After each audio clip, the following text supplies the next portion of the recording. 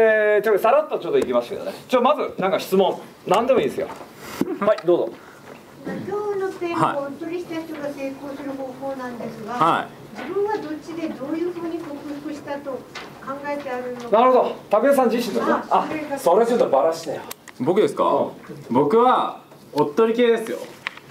なので売り込みが弱いとそれをカバーしたのはどどう例えば本を出したっていうことは売り込みが弱いだけじゃお鋭いですね。だからそれをそう。てかそそう。うだったらそこをなんかカバーしたどどうやって自分をカバーして本を出すに至ったのかっていうおなんかこうあるはずだ鋭いですね。だから結局おっとり系ではあるけれどもコントロール寄りなんですねちょっと。なので完璧に売り込みができないわけではなくそのおっとり系が変わる5つのきっかけって4ページ目にあると思うんですけどもまず僕があったのは信念とあと窮地危機感ですね。あと国旗心。これを足して重要な人にだけは売り込みができると。あとのお金のためは信念が欠けるのでできないと。いうオチですね。っていうふうになってます。なので勇気を持って信念と愛と危機感を持ってあと責められた時はちょっと良くないんであと国旗心を持ってワンアクションを取ってみれば人生が変わるっていう形ですね。はいありがとう分かございらんじゃんそれじゃ。ますいや分かるでしょ。どうやって分かるでしょ。具体的にどうやって具体的にはノーコメントですよ。まああのねまあ酔った席だったからよくわかんないわかんないですけどある人がですね本出したんですよ。全く無名なんですよ。でまだ20代でしたよね。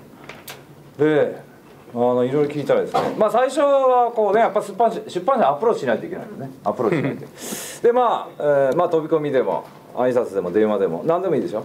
で私も実は最初の売り込み40社やってまあ39社ダメだったけど1社当たったんですけどね。えーそれはもう単純に原稿を作ってもう送りまくって単純に送って日本実業出版とだけ田中さんっていう人今でも覚えているいやー僕は福岡出身なんですよ。なかなか面白いですね。でも出しませんみたいなね。電話すんなみたいなね。いや福岡だからみたいな。どうでもいい。ああそれはありません。うん、最初バカ社長だったんで私の場合あの本が。中身全部福岡のないでしょだから「いや面白いけどね」って「これは全国では売れんね」みたいな「いやそうだろうな」最初から思ってたんですけどね。まあでも結局だから地元の関宮社さんっていう地元出版。で、えーにそこだけは唯一私電話しまして。近いしね。他は送りつけただけやったけどやっぱ近いし暇だし、えーまあ電話して「だから持ってきてください」と。でこう渡してペラペラこうめくって。たらまあ1ヶ月後ぐらいですけどね。じゃあ出しましょうかと、ええ。でただし、えー何冊買い取れますかと。まあそれは普通なんですね。大体。最初初心者はね東京でもその自費出版が多いですよ。武田洋一だって最初自費出版ですからね。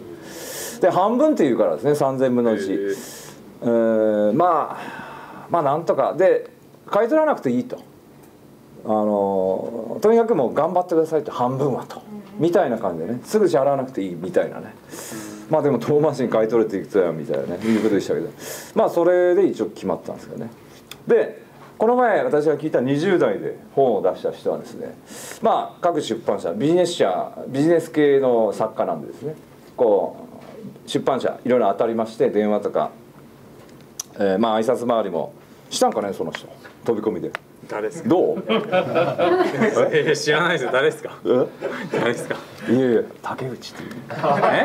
僕竹内っていう人間。飛び込んでないっすよ。飛び込んでない。飛び込んでないっすよ。えだって小口さんも紹介してくれたし。おお他は？他はそりゃあね。メールかなんか？まあいやまあいろんなねまあ方法はそんなないどこかで知り合えばいいんですよ。どこかで。あ例えば東京あたりほらね。そうパーティーやってるからそあー出版社の編集者が集まるう集ようなまりますか。らえー東京とかね。